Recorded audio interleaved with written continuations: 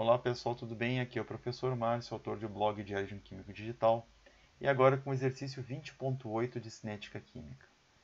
Um pesquisador determinou a seguinte lei de velocidade, V igual a K vezes concentração de A ao quadrado, para uma determinada reação. Se a velocidade for 2,44 vezes 10 na menos 4 mol por litro por segundo, quando A for 0,167 mol por litro, qual será o valor de A se a velocidade da reação for de 1,55 vezes 10 a menos 6 mol por litro por segundo.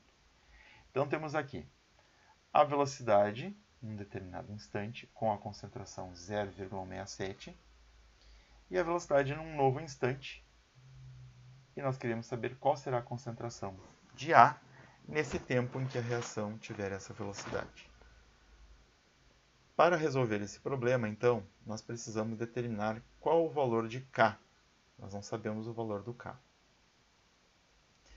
Então, nós temos aqui K igual a V sobre A ao quadrado, o V é 2,44 mol por litro por segundo e o A é 0,167 mol por litro.